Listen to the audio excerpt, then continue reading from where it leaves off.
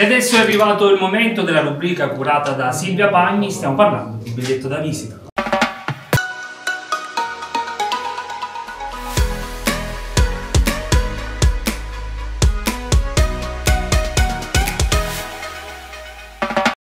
Bentornati cari telespettatori nella nostra rubrica Biglietto da visita. Oggi, da come noterete, siamo proprio sotto le festività natalizie. Abbiamo addobbato per bene la nostra SLM. Pensate, quest'anno non un albero, ma ben due, perché qui è pieno sempre di grandi e piccini artisti e noi li vogliamo tutti quanti coccolare. Vado subito a presentare l'ospite di oggi che è una persona che ha fatto innamorare generazioni e io sono veramente onorata di averlo qui. Gentile ospite, mi sente?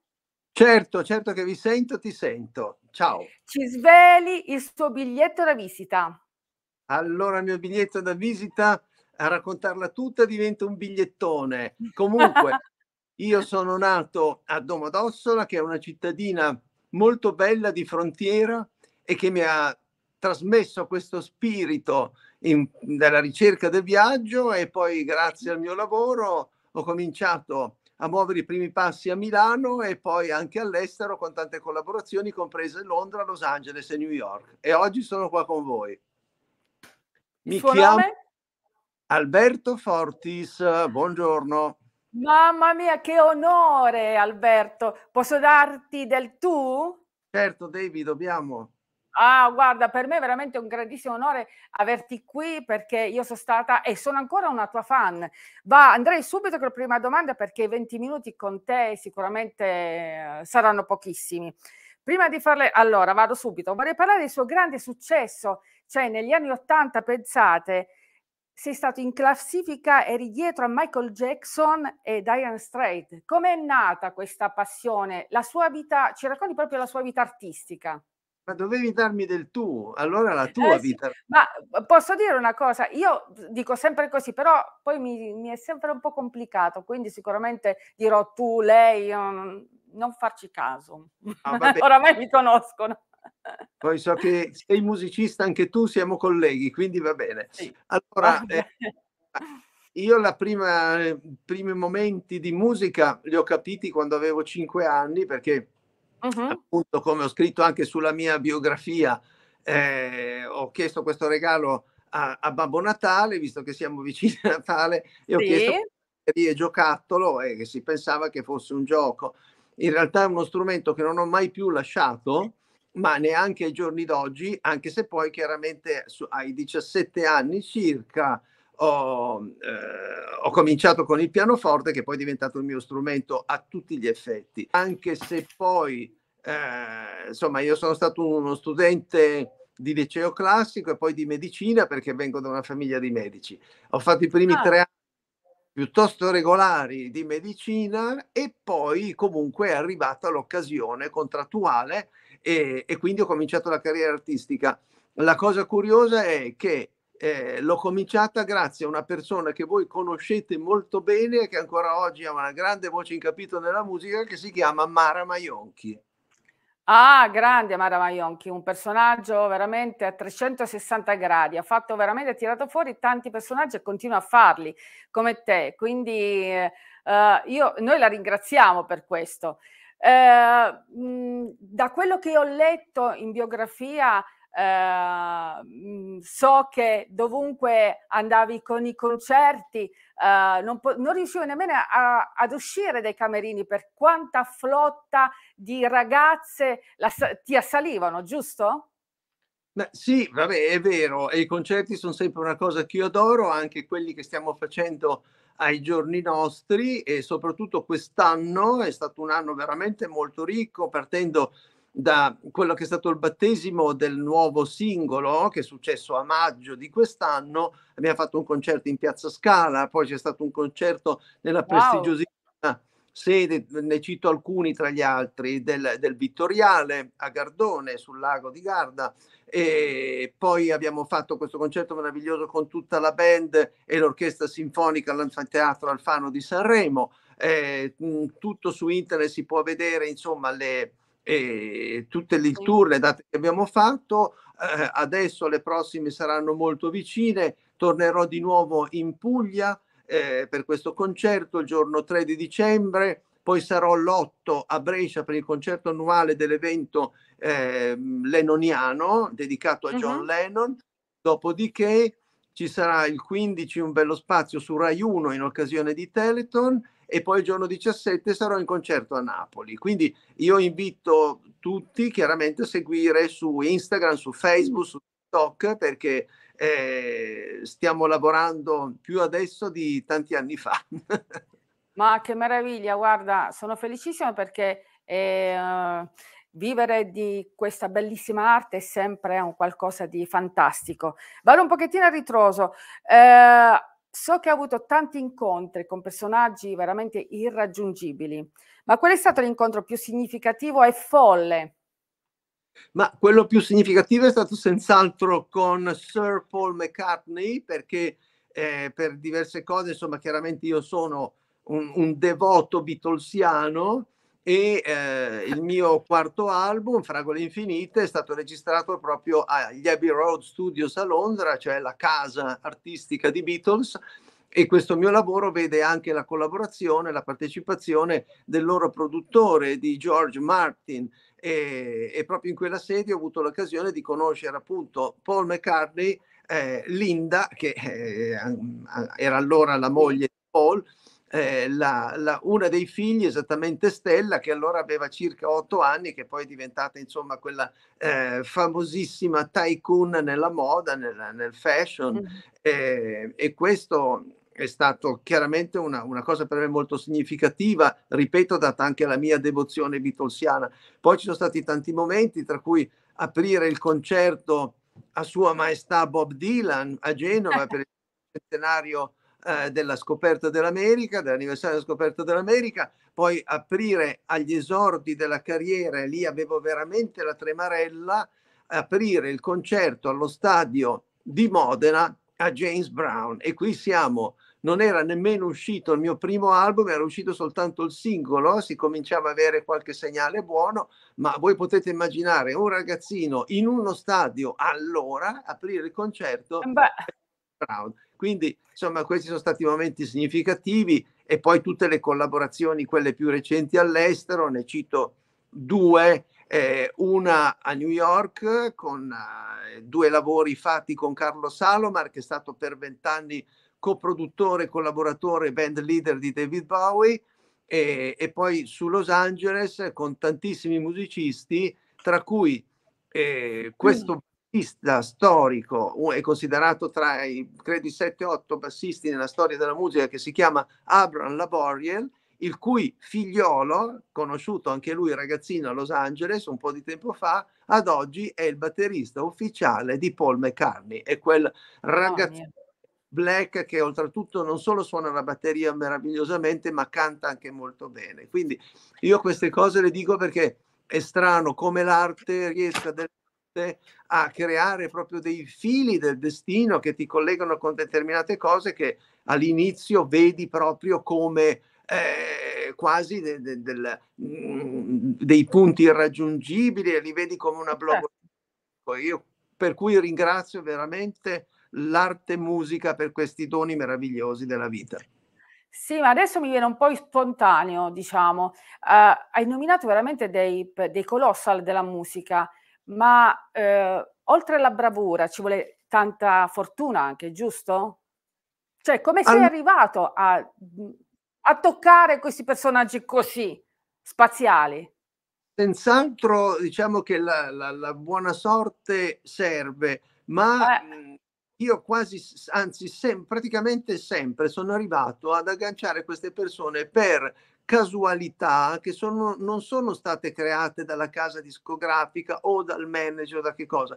Per una questione, mh, mm, per esempio, le, le prime conoscenze, io ero andato per amore di questa ragazza americana a Los Angeles e lì per una situazione proprio fortuita ho conosciuto ecco. i che poi avrebbero collaborato con me, tra cui appunto questo Abraham Laboriel di cui ho detto prima, ho raccontato prima, con i quali abbiamo fatto il terzo album, La Grande Grotta, che contiene canzoni come Settembre, La Negna del Salvador, La Grande Grotta, Marilyn, eccetera. Quindi, e questo è stato veramente un incontro tra persone mh, mm, e tra musicisti, perché io li avevo incontrati casualmente a un loro concerto e in qualche modo, pur essendo tendenzialmente molto timido, ho sentito come un richiamo per andare a parlare con loro a fine concerto, esprimere il mio desiderio che sarebbe stato quello di fare un album con loro. Sembrava una cosa impossibile, certo. sono in Italia, nessuno voleva darmi retta tranne il mio produttore storico che è Claudio Fabi, papà di quel Nicolò Fabi che è cresciuto tanto con noi in giro in tour e che tutti conosciamo e, e quindi sono sempre, quasi sempre state delle scommesse vinte ma eh, in qualche modo proprio eh, spinte dalla forza dell'arte. Quindi io questo lo dico perché lo dico ai ragazzi giovani soprattutto quando mi chiedono che cosa si può dire a una persona, un, un artista, un artista lo deve dimostrare nel tempo che comunque comincia la sua carriera. Ecco, dico questo, di non preoccuparsi delle prime porte ri, sbattute in faccia che si possono ricevere. Il mio primo album non lo voleva nessuno per due anni e mezzo, poi un, è arrivata una persona che ha detto di sì, e, per esempio, così come è successo a tanti altri artisti, uno e soprattutto due eh, veramente cercare di capire che questo è un lavoro serio non è un lavoro dove mm. Mh, con televisiva poi insomma si hanno magari dei momenti di gloria immediati ma oggi bisogna stare molto attento a questo bisogna stare molto attenti all'effimero e quindi eh, sapere davvero che questo è un lavoro serio, un lavoro difficile, ma se quello che si vuole fare, assolutamente buttarci tutta la, la, la forza e il, e il, credo possibile. Assolutamente sì, anche dice, di, diciamola tutta, l'Italia è, con gli Stati Uniti c'è un abisso spaventoso anche come collaborazione. Ah, io vado avanti anche perché ah, ha nominato... Sì. No, No, sottolineo una cosa, forse sì. c'era quando mi è capitato di fare i primi lavori, quindi parliamo anni 80 e 80, uh-huh. metà anni 80 avanti, perché anche dal punto di vista della tecnologia, della preparazione media, la, il, il, salto era forte. Ad eh. oggi devo dire che mh, mm, si sono ristretti molto questi, questi gap, queste differenze, e anche perché la musica si fa in maniera diversa, delle volte anche lì eccessivamente indulgendo alla tecnologia e quindi mh, mm, anche non essendo dei, dei, preparati musicisti si riesce a fare un disco, però eh, è diventato un po' di più il linguaggio globale. Certo la lezione che io ho avuto lavorando all'estero, continuando a collaborare là, soprattutto è stata questa. Io ho visto dei nomi altisonanti che ti trasmettono questa, questo eh, proprio imperativo, insomma, questo comandamento, non sentirsi mai arrivati perché c'è sempre chi è bravo. bravo. Di... E quindi ho sempre visto un grande lavoro, una grande dedizione anche in persone che avevano e hanno un nome grande come, come una casa. Sì, sì, la penso anch'io, infatti anch'io ai miei piccolini dico sempre così, mai dire sono arrivata, sono brava, bisogna sempre studiare. Comunque, hanno mirato dei, dei colossal, ma qualche giorno fa è stato il compleanno della più grande, penso, voce femminile eh, stile rock, Tina Turner. Sappiamo che l'hai conosciuta? Accidenti. Eh, ma allora qui dobbiamo parlare un po' di più perché io amo questa donna, amo la sua grande forza sia eh, sul palco, ma sia anche come vita, perché ha vissuto in una, in una, situazione molto delicata che purtroppo è un qualcosa che tuttora oggi esiste, è un qualcosa veramente che dovrebbe essere vergognoso. Com'era innanzitutto lei come artista? Allora, vabbè, come artista la conosciamo tutti ed era sì. veramente una, una, forza della natura, non dico niente di nuovo. Io, grazie a questi amici discografici della Warner Los Angeles di allora, eh, ho avuto la fortuna di conoscerla e precisamente dopo il suo concerto al Forum di Los Angeles, siamo a metà degli anni 80 circa, com, com, sì, poco, poco dopo la metà degli anni 80 e soprattutto la cosa più toccante e, e emozionante è stato poter fare con questi amici discografici e con lei il viaggio in auto con lei per andare a quello che sarebbe wow. stata la festa dopo concerto. Quindi e mi ha confermato questa forza eh, ehm, umana, personale, nel senso proprio più meraviglioso, perché è una donna che eh, fa capire quanto ha mh, lavorato nella vita e appunto anche ha dovuto superare per ciò che accennavi tu prima in quei suoi rapporti sì. di inizio con, con Ike eh, e, e, quindi eh, che era il compagno di allora sappiamo benissimo insomma i, anche i maltrattamenti eh, che ha dovuto sopportare ma una forza anche di una persona dove tu eh, vedi assommato anche le, le più meravigliose figure mm. femminili cioè senti di avere di fronte a te una grande artista, una, una grande anche se non la conosci bene, amica, una persona che potrebbe essere una parente e questo viene dal fatto proprio di essere delle belle persone. Sì, infatti lei è eccezionale anche ancora oggi. Cambiamo registro, il suo brano, il suo brano è del 1978, questa è una mia curiosità, c'è un Vincenzo ti ammazzerò, ma chi è questo Vincenzo? Vabbè, insomma, rispondo Beh, questo... per la sette miliardesima volta. Eh, questo io non lo so la risposta, quindi sono curiosa. Comunque, vabbè, Vincenzo lo sanno in moltissimi, è un discografico, è un, è un signor discografico che mi aveva fatto il contratto alla RCA, esattamente alla HIT, che era l'etichetta all'interno dell'RCA da lui curato.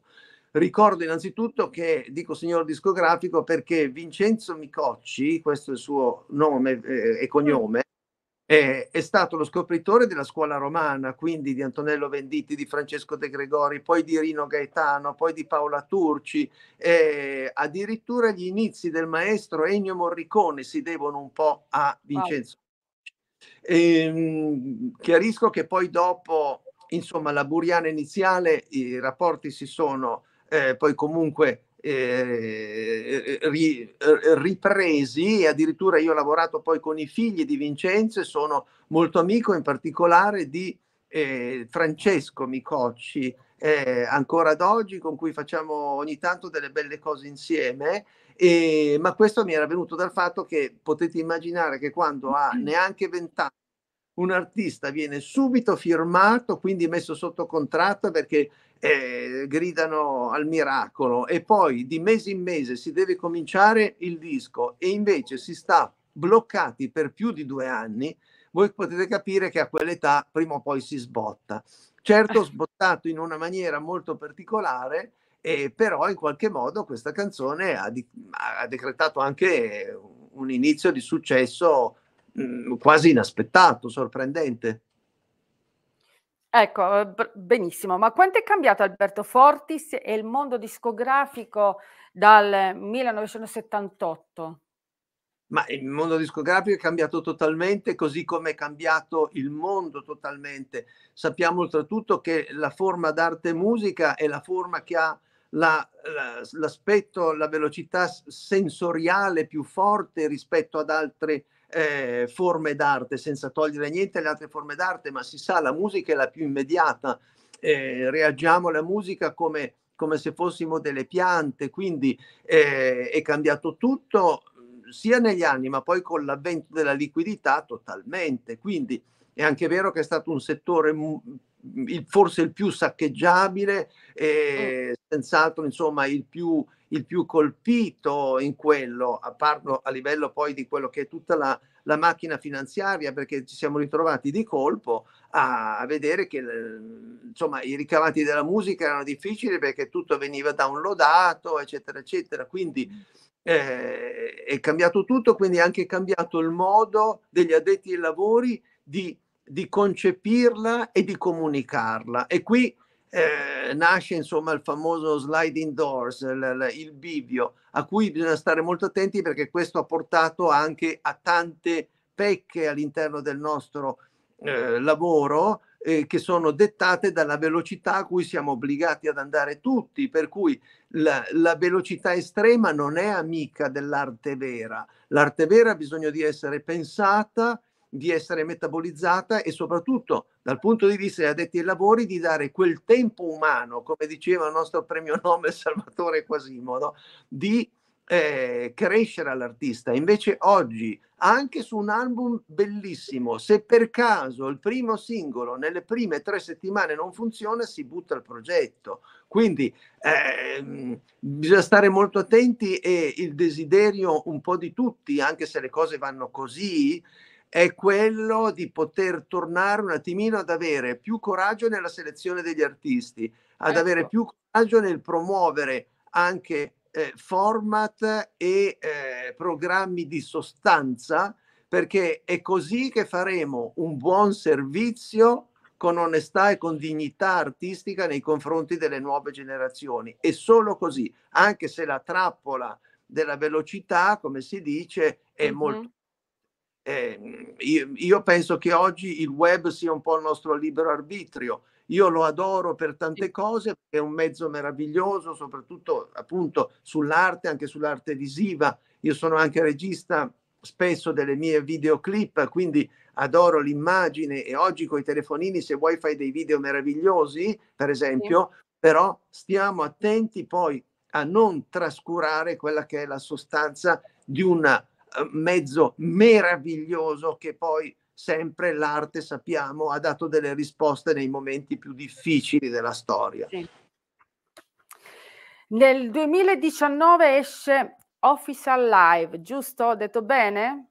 Uh, sì, se posso, eh, visto che eh, eh, così, insomma, sono stato molti anni in eh. America, devi solo cambiare l'accento, è Official Alive, proprio offi- Official Alive, pubblicate dal nostro amico Marco Rossi di Azzurra Music. Ora mandiamo in onda il videoclip, poi ne parliamo, va bene? Perfetto.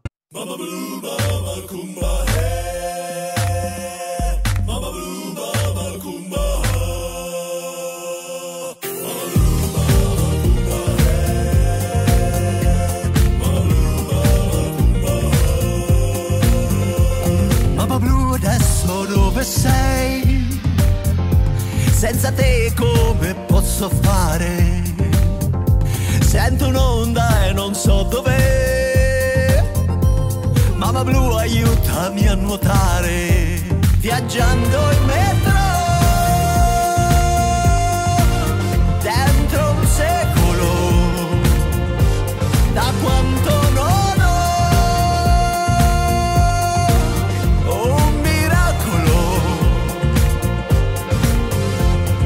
pancia magnifica, ha una vita che cerca il sole, blu d'Africa, ma va dalle quello che vuole,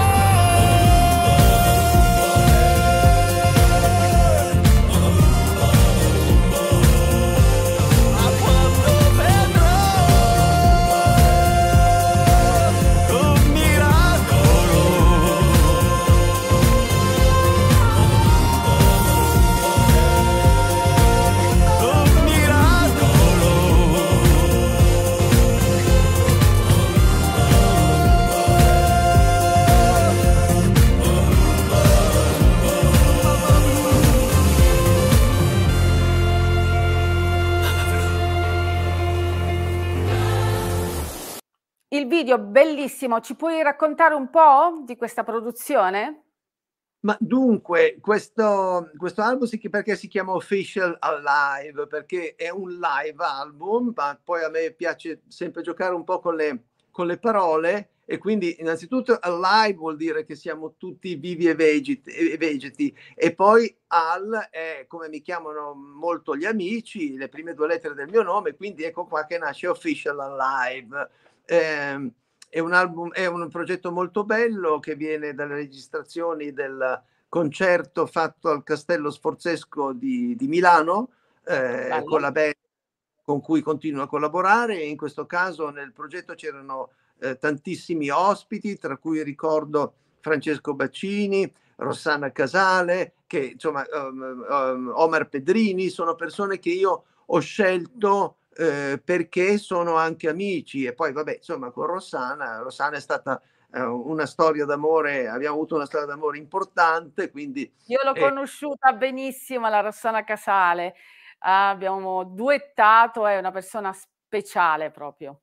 Ecco, e quindi insomma, io ogni volta che ho una collaborazione ce l'ho perché eh, gli artisti fanno parte in qualche modo vera- realmente della mia vita. E, ehm, poi c'è stato il coro, tutta la, la, la, corale dei bambini della scuola cantori di Milano, che erano più di 40, eh, ospiti musicisti, tra cui eh, Rustici, il chitarrista, eh, Simone Bertolotti, che è il compagno di quest'artista, che molti di voi forse conosceranno, Laura, L apostrofo, Aura. E quindi insomma è stata, è stata veramente una, un momento meraviglioso, complice anche la cornice del Castello Sforzesco di Milano. Eh sì, certo. Guarda Alberto, eh, 25 minuti con te veramente volano velocemente, quindi abbiamo ancora pochi, pochissimi minuti. Eh, progetti futuri, concerti, cosa succede? Eh, ne abbiamo accennato un po' proprio all'inizio quando vi ho citato sì. da oggi a Natale che cosa succederà. La Puglia? Poi sì, ci sarà appunto la Puglia, poi appunto Brescia per il Non Day, poi avremo Rai 1 su Teleton eh, il 15, poi il 17 sarò in concerto invece a Bosco Reale, Napoli, eh, per concerto per ricordare questo grandioso musicista che aveva cominciato la carriera con me, che è Joe Amoruso, eh, e poi eh, ricordo che sul, abbiamo fatto anzi recentemente, proprio settimana scorsa, un momento molto toccante. Ho fatto un concerto al carcere Opera di Milano. Uh-huh. Eh, c'era anche Don Ciotti, c'era uh, Arnoldo Mondadori, nipote dell'editore, che ha parlato anche di questo aspetto insomma, del, dell'editoria. Eh, c'era Dori Ghezzi per la fondazione De André. È stato un momento veramente molto toccante perché eravamo nel teatro del carcere di fronte a 400 ospiti, di cui insomma c'erano soltanto 70 esterni, tutti gli altri erano persone appunto ospiti del carcere, chiamiamoli così.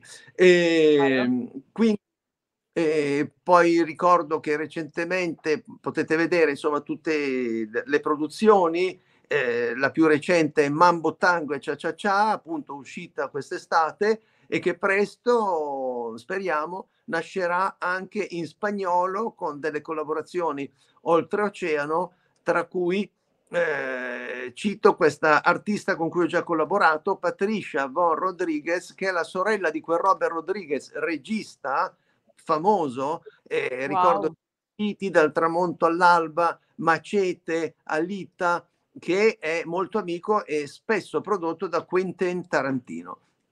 Benissimo. Adesso andiamo un attimino su due domande un po' curiose. Qual è il suo più grande rimpianto? Il mio più grande rimpianto risale a una collaborazione negli Stati Uniti, quando comunque avevo lavorato con lui e sto parlando di Jerry Buckley. Jerry Buckley è il leader della band America. Uh, you oh. can do oh. magic, non so ve lo ricordate, wow. insomma, colosso. Eh, sì. Allora, con Jerry era tutto pronto, studi fissati, album, eh, musicisti per l'album, eccetera, per il mio album in americano, in inglese, insomma, per il mercato americano. Era, mh, mm, parliamo di fine, degli, fine anni 80, era una, una cifra da capogiro la produzione uh-huh. e ed era divisa a metà, metà di, per metà ce ne occupavamo io col mio management e eh, metà invece la casa discografica. Alla quasi vigilia dei lavori la casa discografica non ha quell'introito finanziario che doveva poi girare al nostro progetto e quindi lì per lì decidiamo di posticipare il lavoro eh, che poi per una serie di cose non è stato più portato a termine. Quindi questo è il mio, l'unico vero grande rammarico, ce ne sono tanti piccolini per strada per carità, ma quello di carriera è questo, perché mh, mm, credo di essere stato tra i pochi artisti italiani che hanno avuto la possibilità di realizzare un album per il mercato statunitense. Wow. Di che cosa ha paura Alberto Fortis? Ma io ho molta paura eh, in generale, eh, diciamo, della la cosa che mi viene più spontanea è dire è la, l'inganno.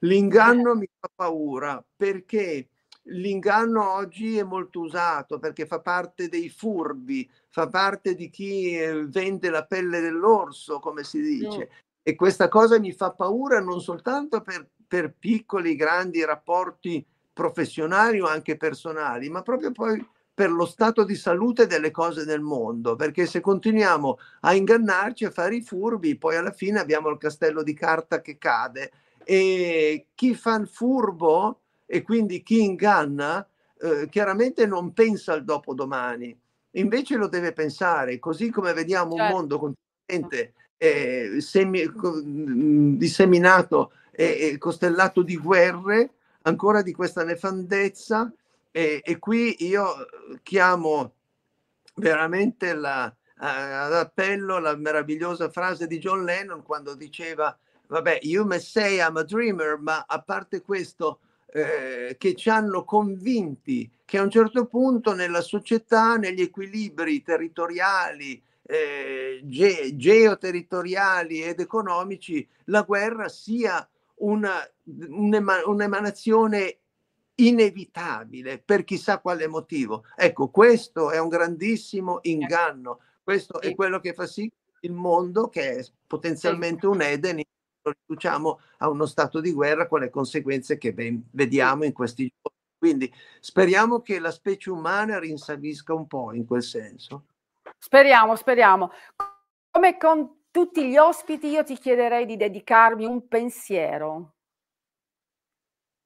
Il pensiero è questo, un pensiero ed è un desiderio che io dico anche a tutti i miei concerti, che dove faccio una dedica a, visto che abbiamo parlato di guerre, a quelle straordinarie esistenze che nel corso della storia ci ricordano, purtroppo grazie al loro sacrificio, a quello, eh, quello che è veramente il senso della vita e ci ricordano che è importante credere al nostro piccolo grande sogno, una catena di straordinarie esistenze che va da Gesù a Mahatma Gandhi, a Martin Luther King Jr., ai fratelli Kennedy, ai giudici Falcone e Borsellino, a mm. Pierpaolo Pallini e a John Lennon tra gli altri. Ecco, e sì. loro ci ricordano che la nostra vita non è merce da buttare sul mercato, ma è piuttosto un fiore che cresce sul ciglio della strada senza niente a nessuno, ma sempre pronto a farsi cogliere da chi davvero lo sa riconoscere. È il momento di poterci, mi auguro, riconoscere nella bellezza del nostro percorso di vita. Che meraviglia, grazie. Io, purtroppo abbiamo terminato i nostri minutaggi. Io ti ringrazio, ti abbraccio forte forte, ti aspetto qui alla SLM. Eh, ti mando un bacione e buon Natale. Eh, ringrazio grazie. tutti i telespettatori e alla prossima settimana con biglietto da visita. Ciao.